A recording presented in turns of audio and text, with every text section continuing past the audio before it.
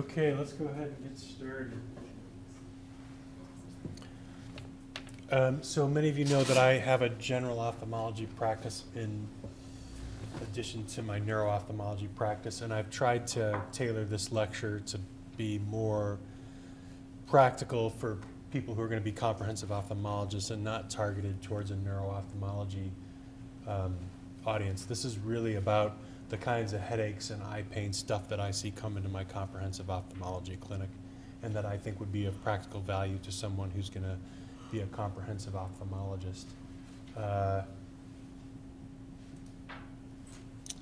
it seems like there was something else I wanted to say about it.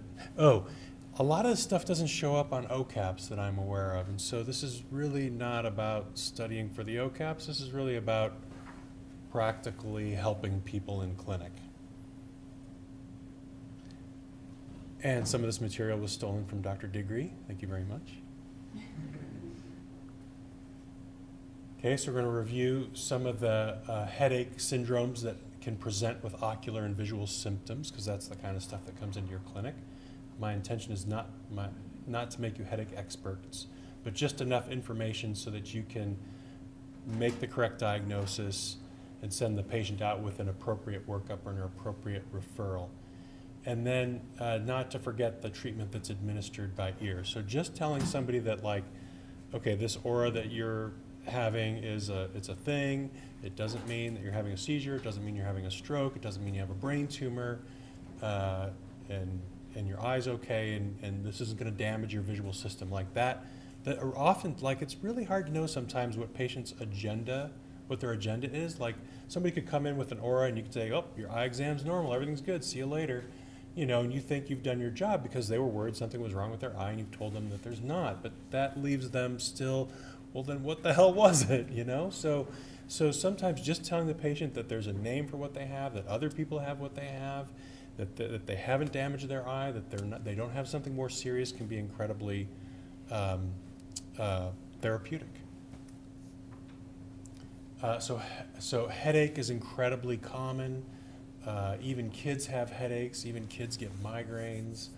Um, there's probably 10 to 20% of us are genetically predisposed to getting headaches, and headache is an incredibly common reason for any kind of visit to a doctor, including to uh, an eye doctor.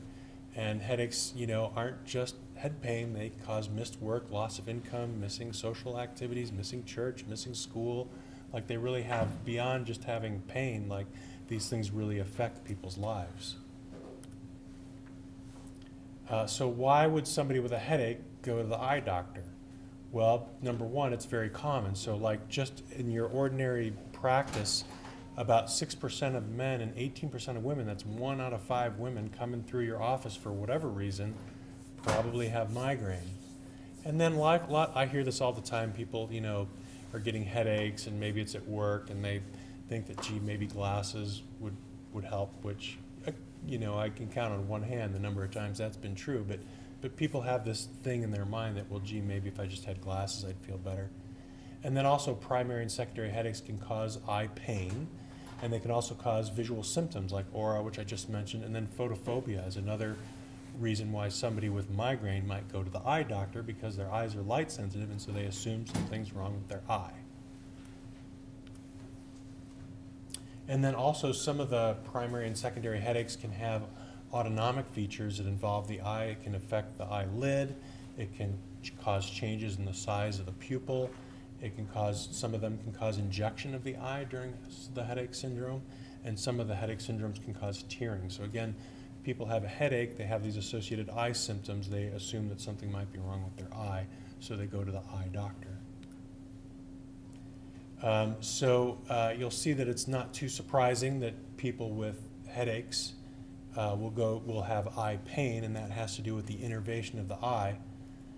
Uh, so the eye and the orbit are richly innervated by the trigeminal nerve, and the trigeminal nerve is, of course, the nerve that's implicated in migraine pathogenesis. So, it, you know, just like some I explain to people sometimes, like people that are having a heart attack will sometimes complain of left arm pain. Was there anything wrong with their arm? No, it's just the way we're wired, and it just feels like we have arm pain. There's nothing wrong with our arm.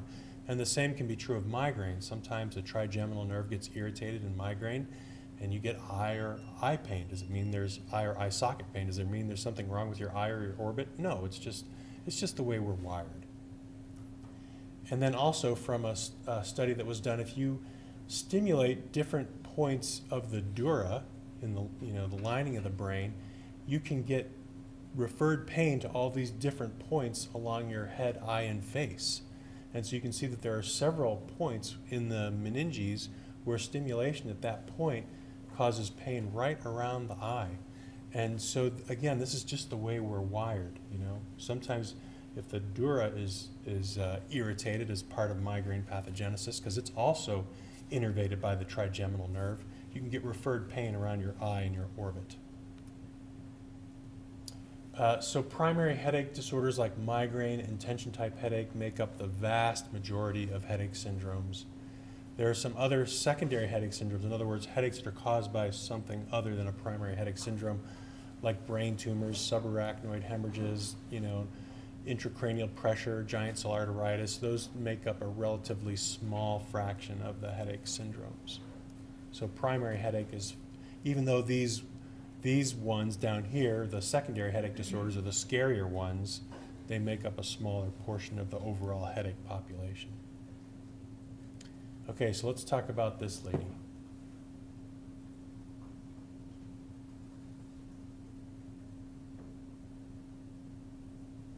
So does anybody have a guess to what her diagnosis is?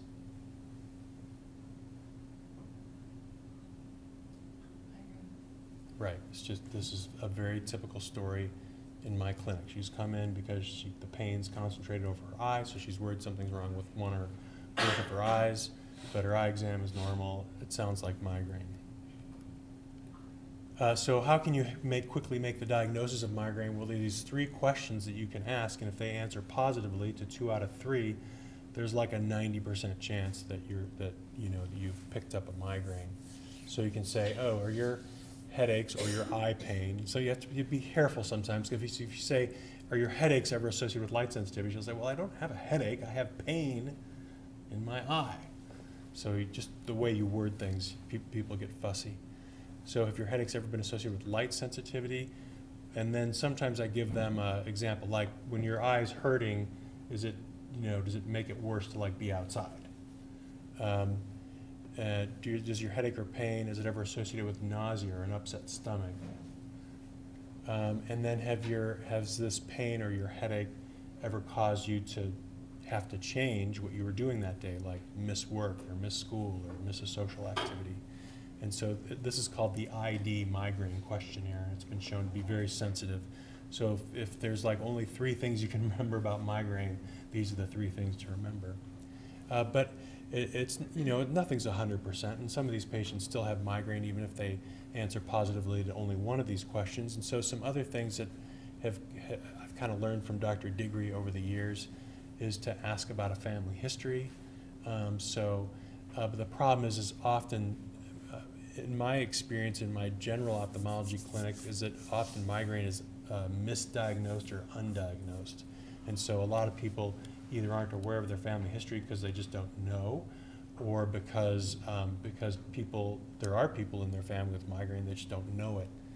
Um, and so one of the questions I'll ask is, when you were a kid, do you remember your mom being sick with a headache? Because females are more likely to have migraine in the family, so I think it's sometimes more helpful to ask about female family members. And then uh, I hear about sinus headaches all the time, and 99% of the time that means migraine. It, it and people think it's, again, they think it's their sinuses because the pain's here or here or here, and that's where their sinuses are. So they assume there's something wrong with their sinuses. Uh, and then also asking about car sickness. So uh, kids who are car sick are often have migraine as adults. And uh, that can be an incredibly helpful question. Actually, some of my migraine patients are still car sick very, you know, uh, motion sickness is a common uh, migraine personality trait, I guess. And then also some, some kids who have, who are gonna go on to develop migraine as adults will often have episodic belly pain as a kid. You know, gassy, crampy, unexplained belly pain. And some people think this is like a, a childhood manifestation of migraine. Maybe some effect on the enteric nervous system that's migraine-like. And then some of the other migraine characteristics that you can sometimes ask about if you think somebody has migraine and you're trying to, you know, uh, pin down the diagnosis. Because, right, it's a clinical diagnosis, right? You can't get an x-ray or a blood test that says you have migraine, so you have to do it based on, really based on your history. Um, so we talked about nausea and vomiting. We talked about light sensitivity. Some people also have sound sensitivity, phonophobia. And so when I ask about light sensitivity or sound sensitivity, I'll say, you know, when you're having this headache or this pain, like, and somebody was watching TV, would you tell them to turn it down? You know, and sometimes that's a, um, a sign of uh, an associated symptom of migraine. Uh, the fact that the pain is unilateral and that it has sort of a throbbing quality also is kind of like more migrainey. And then some sort of a aura that precedes the headache, and you know, far and away the most common form of aura is some sort of visual disturbance. Uh, but some people will get an olfactory aura. They'll smell like a, like a bad smell or a chemical kind of smell before they get a headache that no one else can smell. Uh, uh, and rarely, you know, people can get confusion or even aphasia and other neurologic symptoms as part of their migraine uh, symptomology. Like uh, some, uh, my uncle actually has this, and he, he was driving in a very in a part of town that he's very familiar with. He grew up there and like all of a sudden he didn't know where he was going or what he was doing there, and um, he you know he had to be worked up for stroke because these symptoms are very stroke-like, but in the end it turned out to be you know migraine, and then uh, sometimes uh, people will have like very specific uh, aphasias that are, are very stroke-like or TIA-like. Uh, but it turns out to be migraine. Uh, and these, can, these are very tough people to take care of, certainly way beyond what we want to discuss today, but I just want you to be aware that people with migraine can have these funny, almost stroke-like symptoms as part of their uh, symptomology. Uh, migraine, you know, visual migraine auras take on all kinds of crazy um, uh, forms, uh, spots and dots, people will talk about broken glass, prisms, colored lights. You know, most patients aren't going to use the word scintillating scotoma, even though that's you know kind of what they they have. So you have to use more um, uh, like lay language when you're asking about any sort of a visual disturbance that precedes their headache or their pain. Uh, psychiatric comorbidities very common with uh, migraine, and they kind of have like a vicious cycle. They play on each other. Like the headaches make your anxiety worse because you're worried you have a brain tumor, and that makes your headaches worse, and that makes your anxiety worse. And you know, and lo a lot of times these people need um, uh, treatment for both facets of their problem in order to get them under control. Uh, there's uh, not infrequently a history of neglect or abuse in childhood in some of these patients, especially the women. And then uh, there are uh, some of these uh, triggers are really common with people with migraine and eye, and eye pain that's migrainous in nature. Uh, not enough sleep, skipping meals, stress, too much caffeine. Uh, some people are set off by certain smells. Some people are very sensitive to perfumes and stuff. Some people are sensitive to certain kinds of light, like maybe fluorescent lights and then medication overuse, like so a lot of these people are often overusing over-the-counter analgesics like Tylenol and naproxen and ibuprofen, and that gets them into this vicious, you know, medication overuse headache, rebound headache situation.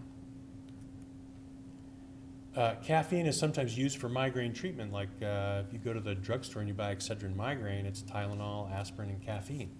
Uh, uh but also, like if people uh, but caffeine can also trigger or worsen headaches. It's, it's kind of a fine balance with people. So it's usually a change in their habits. Like if they're big caffeine drinkers and then all of a sudden they're not drinking caffeine, it can make them pretty sick.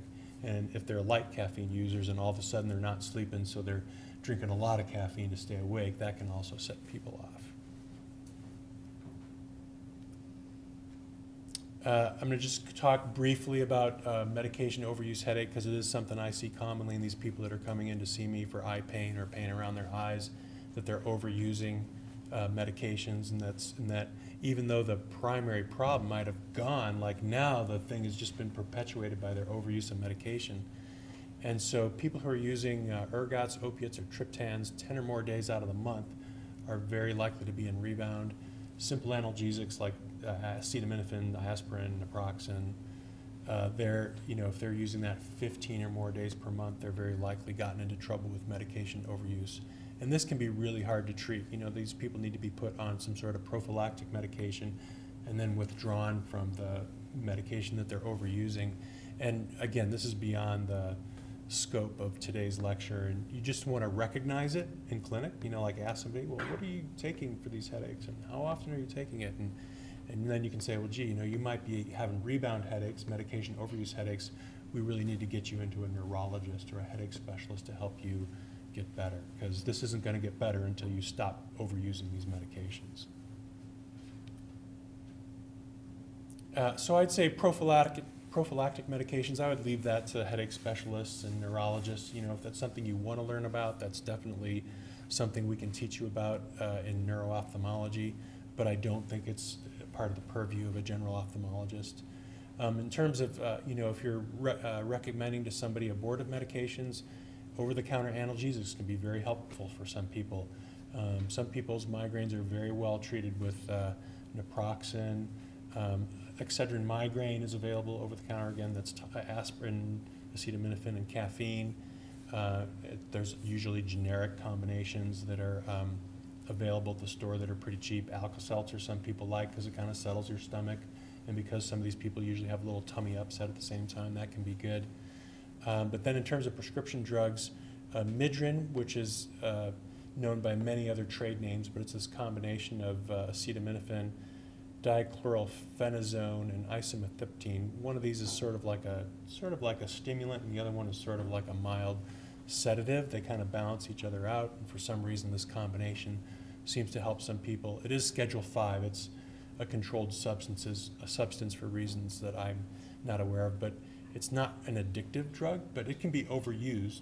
Any of these medications can be overused, and so if you're going to suggest these or prescribe these, you just want to make sure that people are aware that they can't use them more than a certain amount per month without making things worse.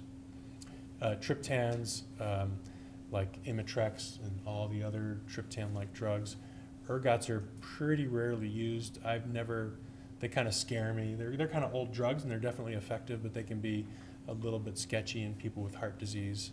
And then, you know, people that get um, nausea with their headaches, you really need to treat the nausea before you can treat the headache. And so um, I really like metoclopramide. It kind of helps their stomach move a little bit, relieves their nausea, and then they can take something for, for their headache. Because some of these medications, like you can imagine, like if you have an upset stomach, taking a couple of ibuprofen is probably not going to help that very much. And you really need to deal with the nausea before you can take some of these medications, again, without making yourself worse. So don't forget about antiemetics.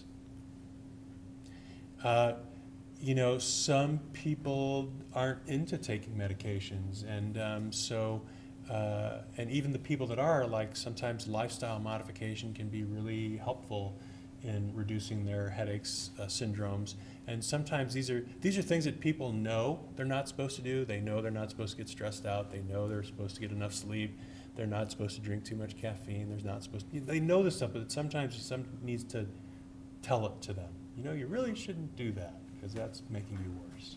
I know, I know. And then uh, I'm a big believer in some non-traditional treatments for some people. And you can laugh if you want, like, you know, some of this stuff has some good, like, peer-reviewed literature behind it, and some of it doesn't.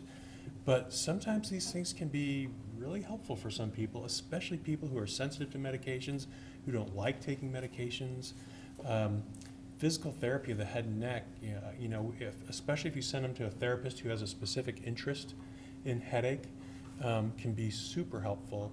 Uh, uh, you know, I, uh, I'm sure Dr. Digre is wincing, but sometimes chiropractors can adjust somebody's neck and, and, and really relieve their headaches. Actually, my former secretary, not my current secretary, but my former secretary, uh, had a lot of migraines. She was very medication sensitive and uh, she ended up finding a chiropractor in Sugar House who's really helped her a lot and has been able to not only help her manage her headaches, but keep her off medication.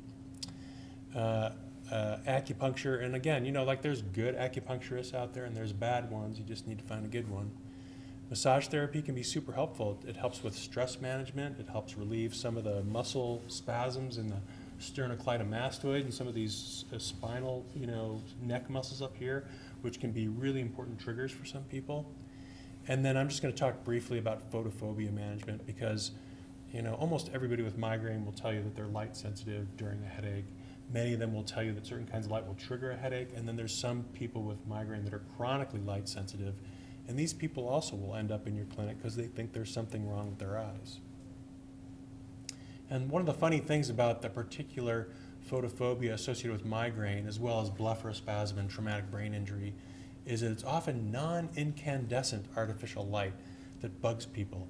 You know, they go outside and where you would think their light sensitivity would be worse, you know, on a bright sunny day, but they throw on a pair of sunglasses and they're really pretty much okay.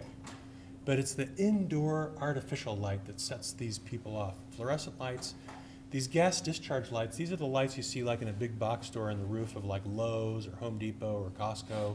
They have kind of a funny, if you've ever looked up at them, they're gigantic and they're super bright. They have, they have kind of a funny color to them, either an orangey kind of color or a bluish kind of color to them.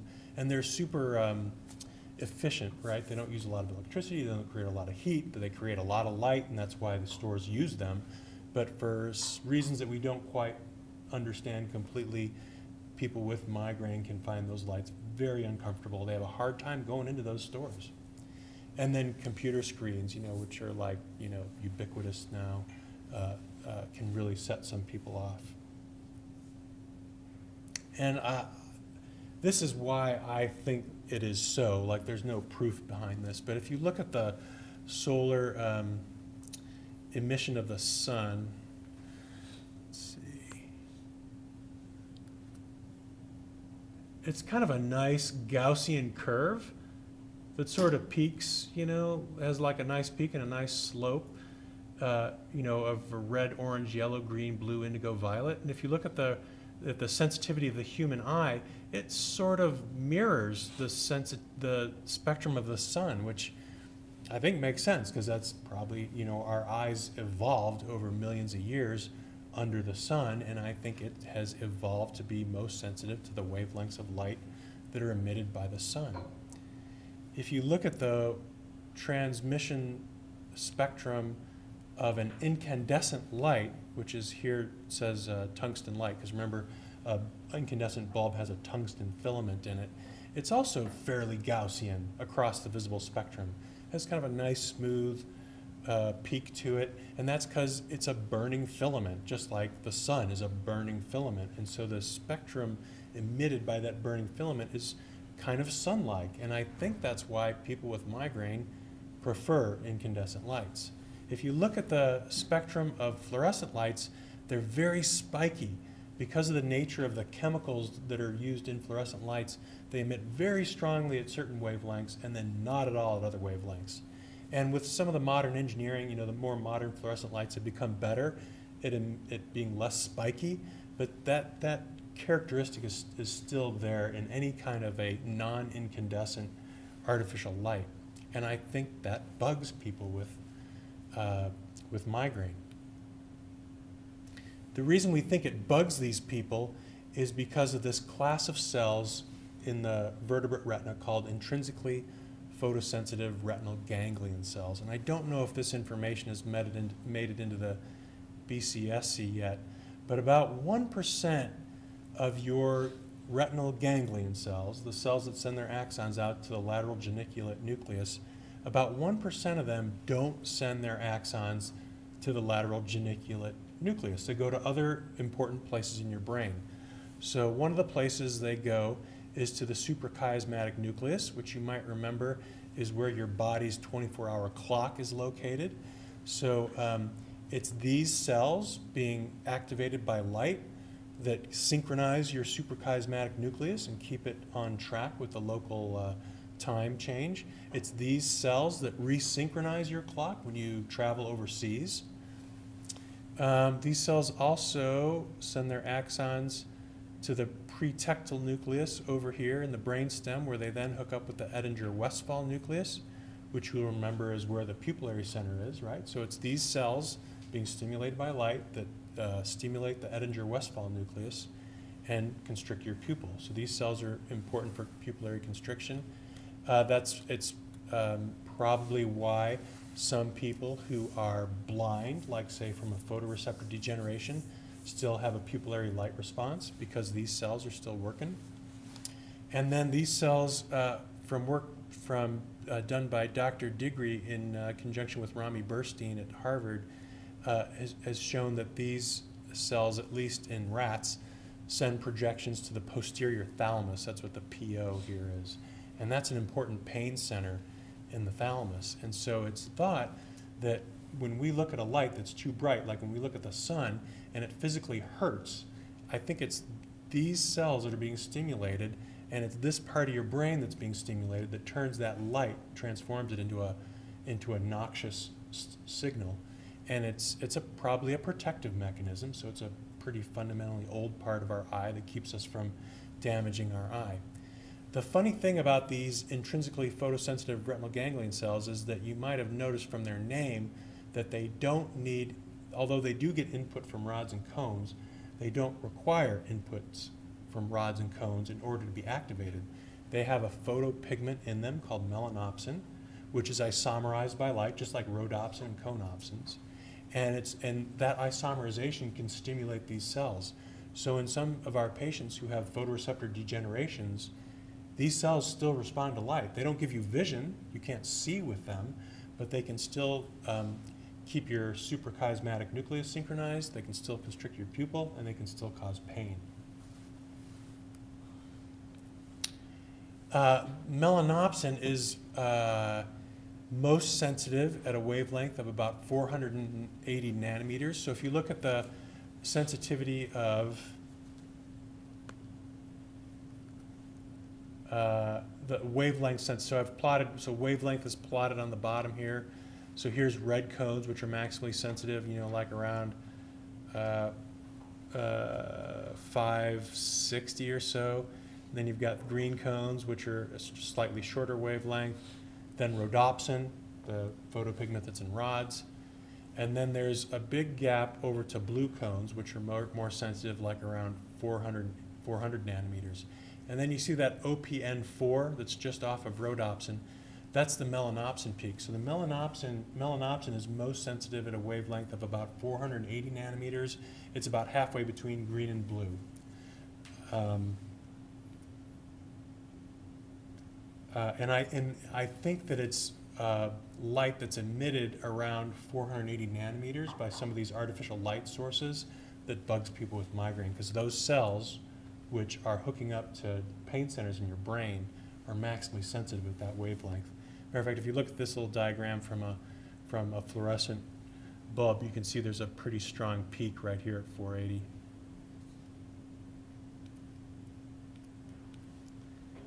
Uh, so for some of our patients who are coming in who have this indoor light sensitivity, a lot of them will wear sunglasses indoors because it's the only way that they can function. And you really need to dissuade them from that because I, they're light, they're dark adapting their retina. And they're actually, and so then when they do take their glasses off or they do go outside, their light sensitivity is going to be worse. And the example that I often use for people is, I say, you know what it's like when you go to a matinee movie and you're watching the movie and then you, you come out the exit doors into the bright sunlight, how painful that is. And like, that's what it's going to be like when you take these glasses off or when you go outside. So I try to, I say it's fine to wear them outside as dark as you want, but indoors don't do that. And instead I try to talk people into FL41 because it seems to be more effective than other stuff that you can buy in the store and it's not expensive and it's easily applied to glasses or contact lenses. Uh, it has kind of a rose color uh, compared to a pair of like ordinary gray sunglasses has kind of a pinkish rose reddish kind of color to it. If you look at the transmission spectrum of a pair of gray sunglasses versus a pair of FL41, uh, you'll notice that FL41 has this pretty strong dip right around 580 nanometers, right around the same wavelength where melanopsin is maximally sensitive. So FL41 was actually developed like 20 years before anybody knew about intrinsically photosensitive retinal ganglion cells or the, uh, or the spectrum of melanopsin. Um, uh, it was developed empirically by trying different sorts of tints on people with light sensitivity till they found something that worked. But I don't think it's a coincidence. I think there's something uh, intrinsically better about FL41 because it's blocking those wavelengths of light uh, that stimulate intrinsically photosensitive retinal ganglion cells and, and, and appear to make people with migraine less comfortable. And again, it's super cheap. The Moran Eye Center sells it. Our contact lens shop can get contact lenses tinted with it. Um, you're not going to kill anybody with FL41. And you can, and it's really, like the first time I started prescribing this to people, um, people would come back and say, oh my God, you know, this was, you know, I can go back to work, I can go back to school, I can go to church. And you're like, really? Like it just, it just sounded like, I was, I was really, really surprised and continue to be surprised by how helpful it can be to certain people. A very simple, and inexpensive thing. Um, so there's, you know, so of course diseases of the eye and the eye socket can also cause headache and eye pain, and that's really part of your job as an ophthalmologist is to, is to rule those things out. Uh, but most of them, luckily, are pretty obvious to us with all of our special exam tools. Like if somebody has an inflammatory condition of the cornea, conjunctiva, sclera, or iris, we're, we're going to pick that up on our exam. You know, it's, it's a lot more difficult for neurologists who are often treating these people to rule out these things uh, because they don't have the tools we do. And then also orbital inflammation like thyroid eye disease, uh, a, fistula. You know, usually there are other signs and symptoms that are going to be present in that patient that are going to tip you off to the fact that this is not some primary headache syndrome. It, it really is an eye problem. And we all, and you know, we all know how to take care of those things or how to work them up. Uh, but then there are some patients that don't have any obvious inflammation in their eye that can also have a secondary eye pain uh, syndrome uh, like eye strain, you know, so that, you know, asthenopia, you know, is the term that we use. So of course, if somebody is coming into your clinic and complaining of eye pain that's primarily when they're at work and when they're reading, when they're working on the computer, you want to make sure they don't have like latent hyperopia or convergence insufficiency. Uh, posterior scleritis can be very tricky, best found by uh, ultrasound. Um, will not be obvious on your examination. It's fortunately not very common. Uh, usually these patients have pain on eye movement that helps you, you know, raises your index of suspicion for some sort of a orbital cause rather than a primary headache syndrome. Uh, early on in optic neuritis, people can have eye pain, but you know, I've seen a bunch of patients over the years referred to me for optic neuritis who just have eye pain and no vision loss, and that just doesn't happen. Like people don't, you know, to have optic neuritis, you've got to have vision loss. Uh, but for some reason, that's especially pain on eye movement, which can be caused by so many things, will sometimes make people immediately jump to optic neuritis, even when there's no vision loss. But early on, you could have pain, you know, preceding the vision loss by hours, or maybe up to a day. Uh, idiopathic orbital inflammatory syndrome we'll talk about a little bit more because this is another important cause of eye pain. Um, uh, angle closure, of course, something that we wouldn't want to miss. And then, you know, zoster is something that I see, you know, fairly frequently in my general clinic. And um, before the rash comes out, it can be really hard to diagnose. If people come in with, you know, horrible pain, and the dis- you know, it's unilateral, it's in the distribution of V1, usually if they're coming into the eye doctor. And um, uh, sometimes you, you don't exactly know what's going on until the rash breaks out, and then you're like, okay, now I know what it is. So just a quick uh, talk about idiopathic orbital inflammatory syndrome, also known as orbital pseudotumor. So this condition is, a, is really, it's kind of a garbage can term for any sort of a unexplained idiopathic inflammation that affects any of the contents of the orbit. So it can affect the muscles, it can affect the optic nerve sheath, it can affect the lacrimal gland, and you know, if you if you suspect that, especially in somebody who has pain and eye movement, what I'll do in clinic is I'll take like a little cotton tip applicator and I'll gently touch, I'll kind of rub over the superior rectus insertion, uh, through the closed eyelid, over the lateral rectus insertion, the medial rectus insertion, inferior rectus insertion, the trochlea, and just ask them, is it tender here, is it tender here, and compare it to the other side that's not symptomatic. And sometimes that can tip you off to a, a case of myositis. Uh, orbital ultrasound can be super helpful because Roger Harrie can measure all the muscles and compare them side to side and tell you if one of them's inflamed. And it's usually treatable with nonsteroidal uh, analgesics. And, um, you know, we, um, it's kind of beyond, this is really an orbital lecture, you know, about the different things that can cause this syndrome and, and the appropriate workup. But uh, nonsteroidal analgesics are, are a, a very good treatment. Uh, trochleitis is something that I don't see too commonly. You can see that it's showed up here in this patient on the CT scan. Uh, you know, again, by palpating over the trochlea, uh, you can make this diagnosis, and it's caused by inflammation of the tendon, the superior oblique tendon, where it goes through the trochlea. And it's uh, more common in patients with some of these uh, connective tissue uh, diseases. And then, you know, I don't think we have to talk a whole lot about uh, glaucoma. Just remember that some drugs can cause this and that, you know, farsightedness is a big risk factor. Uh, this is a nice little statistic down here that uh, 11 out of 2,000 patients with headache were misdiagnosed with migraine but actually had glaucoma. So you want to, you know, you don't want to send somebody with glaucoma to the headache specialist. It's a good reason to practice your gonioscopy skills. All right, so here are some other uh, headache disorders that may manifest as eye pain. So we've already talked about the primary headache disorders, which is primarily migraine and tension headache. Um, we're going to talk briefly about some of these headache syndromes that can have autonomic features, uh, like cluster and paroxysmal hemicrania. And then we've also briefly touched on some of these other things. We talked about we talked briefly about herpes zoster presenting as eye pain early on, being difficult to diagnose before the rash comes up. Temporal arteritis is something that we talk about in another lecture, of course, an important cause of a new head pain in an elderly patient you wouldn't want to miss. Carotid dissection can also present as eye pain, um, again, just because of the way that we're wired up and because the sympathetics that go to the lid and the pupil um, travel up on the carotid artery, these patients can present with a Horner syndrome. And some of these patients with autonomic features to their headaches can also have a Horner syndrome as part of their headache syndrome, and that makes it kind of confusing.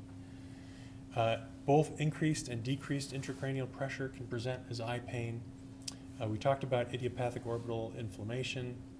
Uh, we're going to talk briefly about trigeminal neuralgia because this is another headache syndrome that comes into my comprehensive ophthalmology clinic that's important to recognize uh, and is and another thing that's you know recognized based solely on the history. And then cervical spine disease can also present weirdly as eye pain or even blurred vision in some patients. So let's talk about this guy.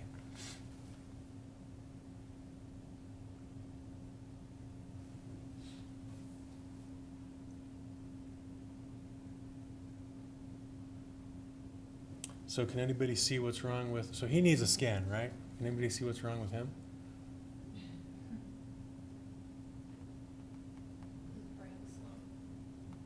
The brain is sagging through the foramen magnum, yeah, so. Uh, the foramen magnum runs between the tip of the clivus bone down here and back here to the occipital bone. You can see that the cerebellum is kind of sinking down through the foramen magnum.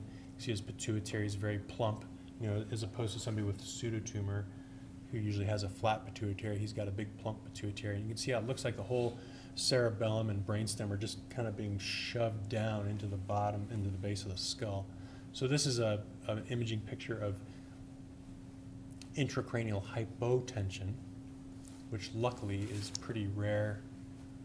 Um, the key thing are these positional headaches. So like remember people with pseudotumor, people with high intracranial pressure, they feel worse when they lie down, better when they stand up. People with hypotension are generally the opposite. They feel better when they lie down, they feel awful when they try to stand up.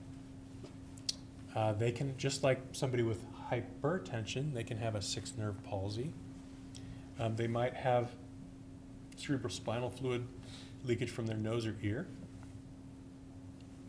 And there's a bunch of risk factors for it. Uh, that's, I mean, lumbar puncture is pretty obvious, head trauma, obvious. Water sports, really? Weightlifting and golf, it's been reported. Sometimes cough can cause a tear in the meninges. Uh, seeing the chiropractor that Dr. Katz sent you to could cause this. Uh, car wreck, yoga, and then there might be some genetic predispositions, you know, some of these connective tissue things.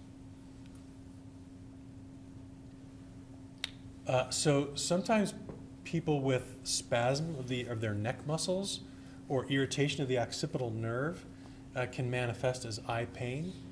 Um, uh, even blurred vision, especially in association with a whiplash injury.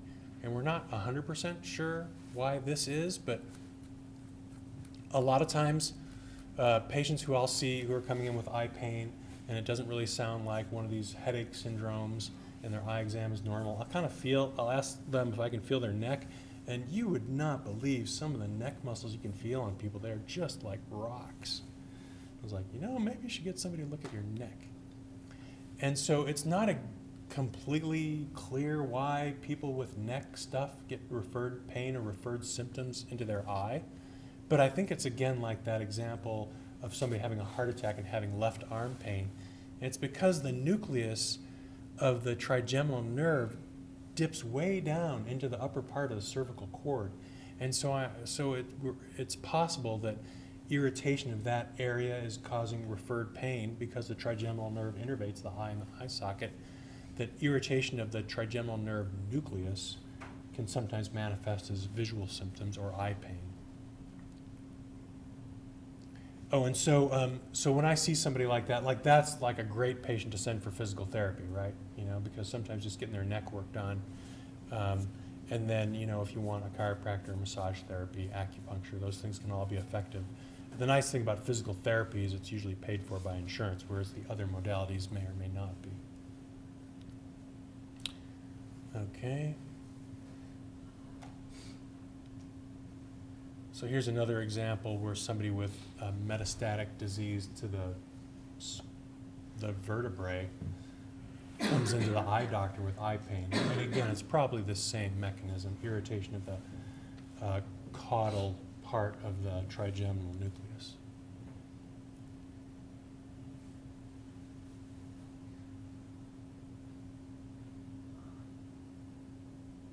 So hopefully nobody misses this one in this audience. Right? So go directly to IV steroids. Do not pass go. Uh, I'm just just one slide about giant cell arteritis because this is in another lecture. You know, these are older people. Uh, they generally have this kind of chronic, low-grade, boring, continuous holocranial head pain. They can have tenderness over the temporal artery, although not usually in my experience. Uh, we want to ask about scalp tenderness. You'd say, is your scalp tender? And they'll be like, what? So usually what we'll say is, when you comb or brush your hair, does that hurt? Uh, they can have PMR symptoms, you know, achy joints and muscles, uh, weight loss, anorexia, uh, anemia, you know, because people with giant cell arteritis get the anemia of chronic disease. Jaw claudication is a super specific symptom for giant arteritis. Like if somebody tells you they're having trouble chewing or swallowing, that, you know, there's very few things that cause that. Now, a lot of people have like temporal mandibular joint problems or tooth problems. The way you can distinguish that is that those people, as soon as they start chewing, they're uncomfortable They're because it irritates their TMJ, it irritates their teeth. But people with jaw claudication, usually when they first start chewing and eating, they're okay. It's after they've been chewing for a few minutes that they get the claudication. So that's a way that you can sometimes differentiate true claudication from some of these other more common uh, mouth and jaw problems. You want to get a complete blood count, uh, C-reactive protein, not the high sensitivity C-reactive protein, that's for heart. You want just the plain old CRP and a SED rate. Um, uh, and of course, we all know that this can cause blindness, and it's not something you want to miss.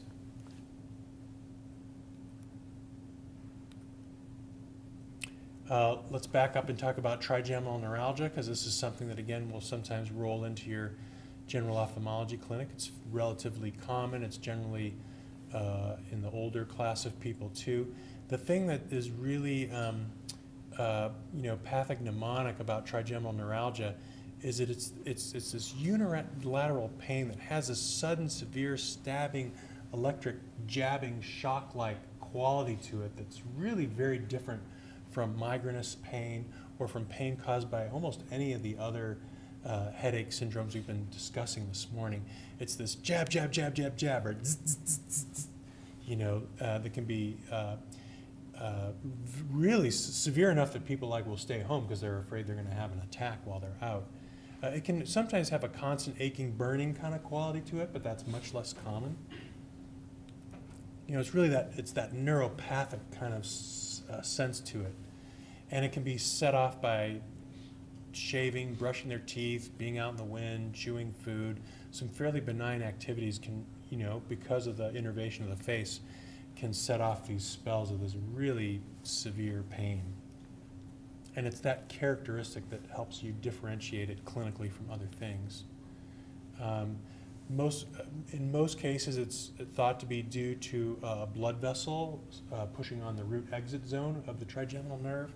It can also be associated with multiple sclerosis. The nerve could be compressed by a tumor or an AVM.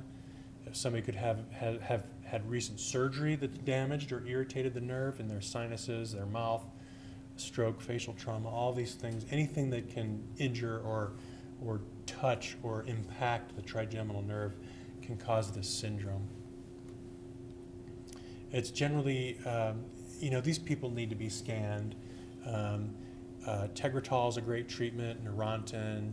Um, some of these people need surgery. Sometimes the trigeminal nerve has to be ablated or, uh, or treated in some other way to get it to stop firing because these people have this, this horrible intractable pain. And again, this is sort of beyond the scope of what I would expect a comprehensive ophthalmologist to, to deal with. But again, just being aware of what the story sounds like so that you can say, oh, gee, this sounds like trigeminal neuralgia. We need to get you to a neurologist, or, or I need to call your neurologist and talk to them about it, and you know, get you some treatment and, and get you worked up properly. Uh, so we're going to talk briefly about the trigeminal autonomic cephalgias. Um, it's very rare that these patients come into my comprehensive ophthalmology clinic, but I just want you to be aware that this exists, that you've like heard of it. Um, uh, so these include cluster, the hemicranias, and then these two very weird syndromes, uh, SUNCT and SUNA, which you know you can read what they what they stand for, but you can see that because of these autonomic symptoms, especially the conjunctival injection and tearing, they might come into the eye doctor because they think that some eye problem might be part of their uh, syndrome. Uh, so cluster headache is also a unilateral pain. It comes on very quickly and is relatively short-lived. It's very severe, very sudden. Uh, people are very agitated, restless. They walk around. They can't sit still. Um, some people call this like a a, a, suicide pain because it's so severe and so debilitating and so awful. Uh, these patients can also have migrainous symptoms like nausea, light sensitivity, sound sensitivity, even an aura, and there can be autonomic features like uh, a Horner syndrome or tearing. Uh, so 90% of patients with cluster will report tearing, the majority report conjunctival injection, you can have nasal stuffiness or, or, or runny nose, which is also an autonomic symptom. They can have a droopy lid or eyelid swelling, and or, or a Horner's-like appearance during an attack or even between attacks. Uh, so here's a patient with a little bit of a droopy eyelid and a little bit of a small pupil on the left during a, during a cluster headache. Um, there's a small segment of these patients who have a permanent Horner's even when they don't have an attack. Uh, there's a number of people that have a Horner syndrome during an attack is kind of a big range there. It's not clear if it's pre or post ganglionic. And some of the other trigeminal autonomic cephalgias can also be associated with a Horner's syndrome or a Horner-like syndrome, but cluster is the classic one. Paroxysmal hemicrania is a syndrome of severe unilateral orbital or supraorbital or temporal pain. It can also be short-lived uh, but it happens multiple times a day, unlike cluster hopefully does. I mean, you can see how it'd be kind of hard to dissociate those two diagnoses because they have a lot of similar features. Uh, but they usually have one of these autonomic symptoms on the same side. And of course, there's no secondary cause. Uh, it's episodic, or it can be episodic or chronic. Uh, there's hemicrania continua, which is also unilateral. And the pain is continuous, as the name implies, but it, it fluctuates in severity, but it never goes completely away like cluster or paroxysmal hemicrania. Um, the, the, weird thing about this syndrome is that it's um, exquisitely responsive to indomethacin, and that's actually part of the diagnostic criteria. And that's kind of a cool thing. Like if somebody, if somebody comes in with unilateral pain like this, um, uh, uh, indomethacin can be therapeutic and diagnostic. Uh, the SUNCT syndrome is this short unilateral neuralgiform headache with conjunctival injection and tearing. Again, this is unilateral pain with autonomic symptoms, but the weird thing is that these are very short-lived, you know, under two minutes. And it can happen, uh, you know, multiple times throughout the day. And then the pain is associated with one of these autonomic features, SUNCT. Here's a picture of a guy on the left, you know, between attacks, and then on the right during an attack, you can see his eyelid is kind of swollen. He, even his temporal artery kind of looks a little bit swollen in that picture, and there's his eyelids, upper and lower eyelids are both edematous during an attack. Uh, there's a big differential diag um, diagnosis with, with these trigeminal autonomic cephalgias because these other horrible things can cause similar features. And so the bottom line is that all these patients need to be imaged to rule out a secondary cause. Uh, you know, the big treatment for cluster is oxygen, although there are other treatments. Uh, preventative, there's a number of preventative therapies. We talked about hemicrania and indomethacin. Uh, SUNCT is uh, traditionally also treated with indomethacin, but is um, uh, notoriously difficult to treat. And again, I think treatment of these syndromes and even the evaluation of these syndromes is beyond the scope of a comprehensive ophthalmologist, but I think it's important to be aware that they exist, to be aware that they have these autonomic features, to be aware that uh, that, pa that patient may come to you because of those autonomic features. Okay.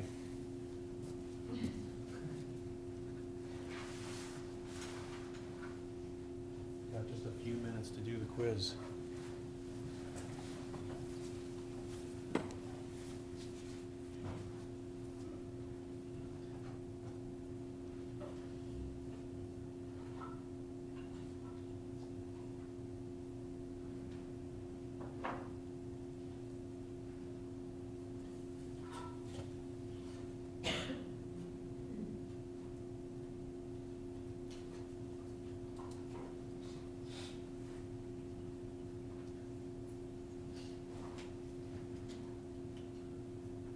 Okay, can I go on to number five?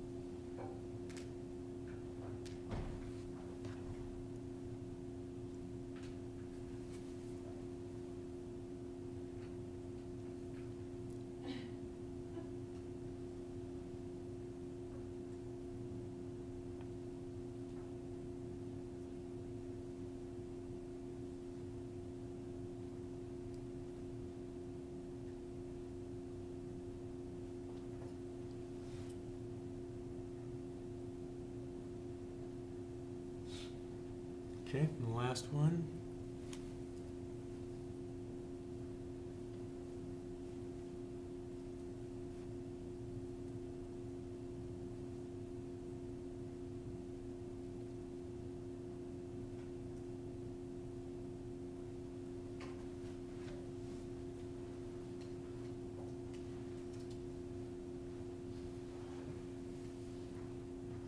Okay, we're going to go over the answers.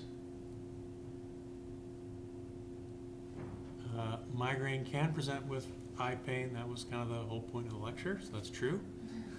Uh, trochleitis is inflammation of the superior oblique tendon and the trochlea, not the muscle, so that is false. Uh, as we talked about in the in the case example, uh, intracranial hypotension can present with double vision, And of course, pseudotumor cerebri, intracranial hypertension can cause a sixth nerve palsy. Uh, so they can both present with diplopia. And that's because, remember, the sixth nerve comes out of the pontomedullary junction, goes up the clivus, and over the top, over through Dorello's canal into the cavernous sinus. So if the brainstem moves up or down, it's, you know, it's a teeny tiny nerve, right? It just innervates one little bitty muscle. And so just any kind of pressure up or down on that teeny weeny nerve can, can cause it to fail. Uh, so that is true. And then it's, of course, the trigeminal nerve that innervates the meninges as well as the eye and the eye socket. Uh, these are both all of the above. Uh, again, that was kind of the point of the lecture. I guess I didn't talk about Tolosa Hunt, but hopefully you remember that from another lecture. And then uh, all, all the autonomic cephalgias are called that because of these autonomic um, symptoms, like like a droopy Did you say lid. on five that if it's a secondary headache, the only secondary headache up there is Tolosa? Yeah, I, I, I noticed that as I put that up here. I did this, I did the quiz late at night. So this should just say headache syndromes. Which of the following headache syndromes? Oh, Yeah, I sh- I'll correct that. Okay, so photophobia, we talked about that briefly. Those are photo, intrinsically photosensitive retinal ganglion cells. These other ones don't exist. And none of those other cells are intrinsically photosensitive.